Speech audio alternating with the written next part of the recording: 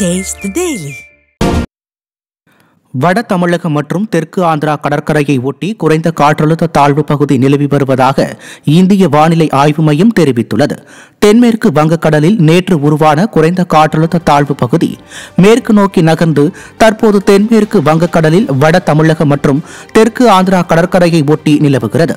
இதனால் புதுச்சேரி காரைக்கால் மற்றும் ஆந்திர கடலோர பகுதிகளில் வரும் பதினைந்தாம் தேதி வரை லேசானது முதல் மிதமான மழைக்கும் வரும் பதினேழாம் தேதி வரை தமிழ்நாட்டில் ஒரு சில இடங்களில் கனமழைக்கும் வாய்ப்புள்ளதாக வானிலை ஆய்வு மையம் அறிவித்துள்ளது.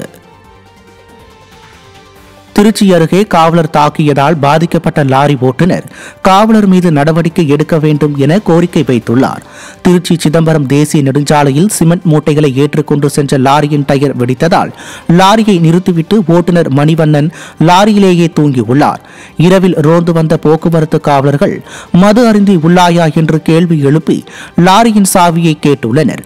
லாரி சாவியை ஏன் கேட்கிறீர்கள்? என மணிவண்ணன் கேட்டதால் ஆத்திரமடைந்த போக்குவரத்து காவலர் காதில் தாக்கியதோடு லாரியின் உரிமம் ஓட்டுநர் உரிமம் லாரியின் சாவி ஆகியவற்றை பறித்துச் சென்று வழக்கு பதிவு செய்ததாக கூறப்படுகிறது. இதனிடையே காவலர் தாக்கியதால் காதில் வலி ஏற்பட்டு ஸ்ரீரங்கம் அரசு மருத்துவமனையில் சிகிச்சை பெற்ற ஓட்டுநர் மணிவண்ணன் காது சரியாக கேட்கவில்லை என்றும் தன்னை தாக்கிய காவலர் மீது உரிய நடவடிக்கை எடுக்க வேண்டும் என்றும் கோரிக்கை விடுத்துள்ளார்.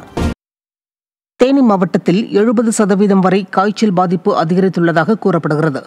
மழை வெயில் என பருவநிலை மாற்றத்தாலும் கொசுக்கள் உற்பத்தி அதிகரிப்பாலும் தேனி மாவட்டத்தில் வைரஸ் காய்ச்சலால் பாதிக்கப்பட்டோரின் எண்ணிக்கை பல மடங்கு அதிகரித்துள்ளதால் அரசு மருத்துவமனைகளில் காய்ச்சலுக்கு சிகிச்சை பெறுபவர்கள் எண்ணிக்கை உயர்ந்துள்ளது. அரசு மருத்துவமனைகளில் ஐநூறு முதல் அறுநூறு பேர் வரை வெளிநோயாளிகள் சிகிச்சைக்கு வரும் நிலையில் போதிய மருத்துவர்கள் மற்றும் மருத்துவ பணியாளர்கள் பணியில் இல்லாத காரணத்தாலும் மருந்துகள் தட்டுப்பாட்டாலும் உரிய சிகிச்சை கிடைக்கவில்லை என குற்றச்சாட்டு எழுந்துள்ளது. சுகாதாரத்துறை சார்பில் காய்ச்சல் தடுப்பு முன்னெச்சரிக்கை நடவடிக்கைகளை மேற்கொள்ளாததால் காய்ச்சல் பாதிப்பு அதிகரித்துள்ளதாக குற்றம் சாட்டும் மக்கள்.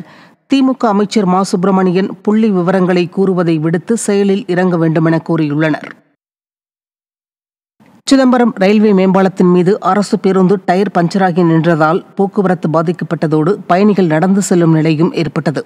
ஜெயங்கொண்டப்பட்டினம் கிராமத்திலிருந்து சிதம்பரம் நோக்கி வந்த அரசு பேருந்து ரயில்வே மேம்பாலம் மீது வந்தபோது திடீரென முன்பக்க டயர் பஞ்சரானது.